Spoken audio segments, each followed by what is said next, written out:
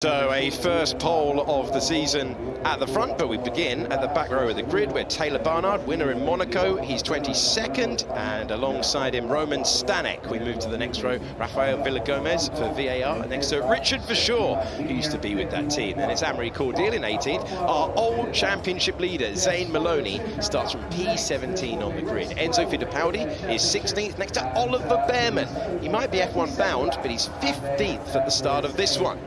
Pepe Marti is in 14th at his home event. Dennis Hauger, the former Formula 3 champion, goes from 13th in the classification. Zak O'Sullivan, winner of the feature race in Monaco, is 12th. He's next to Isack Hadjar, who has been superb so far this year and is second in the points. 10th is Kush Maini. He's next to Victor Martins, who took his first win of the year in the sprint race, as you saw at the top of the broadcast. Juan Manuel Correa goes from 8th. He's next to Joshua Dürksen in P7. Miyata was very strong yesterday. He will be a threat. He's next to Kimi Antonelli as we make our way to the second row of the grid, which is Gabriel Bortoleto, the reigning Formula 3 champion, next to Franco Colapinto. Check out the margins here. Absolutely ludicrous between the top uh, four on the grid. Jak Crawford is next.